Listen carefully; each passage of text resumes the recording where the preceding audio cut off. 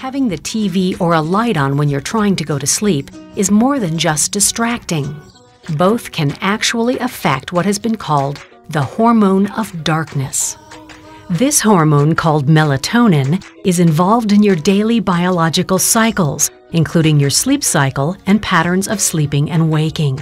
Melatonin is produced by a small pine cone shaped gland deep in the middle of the brain called the pineal gland.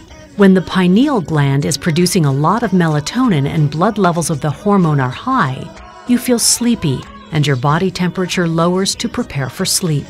The pineal gland keeps secreting melatonin based on what your body perceives as the length of night.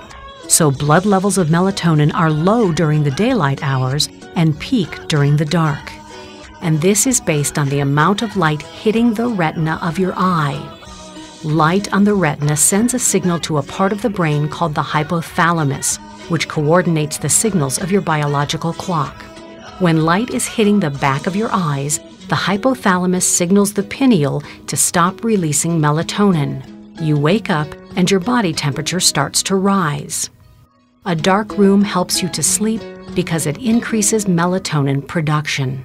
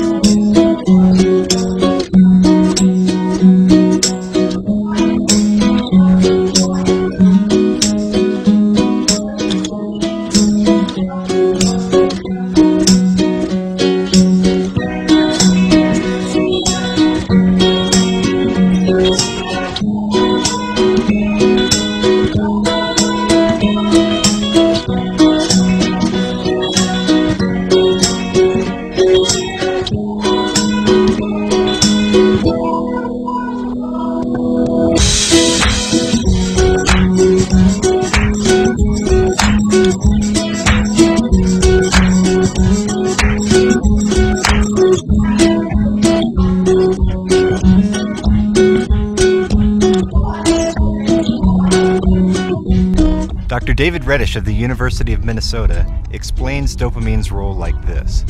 Let's say you're at a gumball machine and you want to buy a gumball.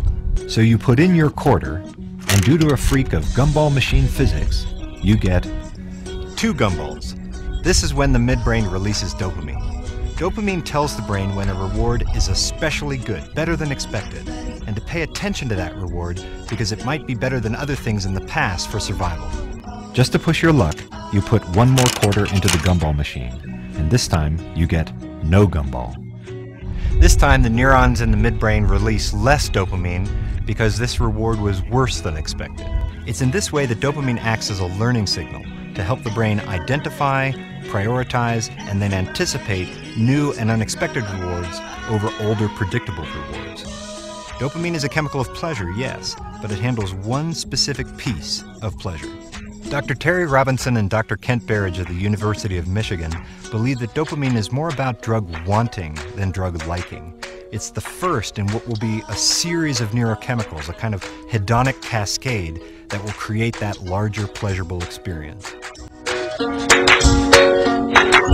oh, oh.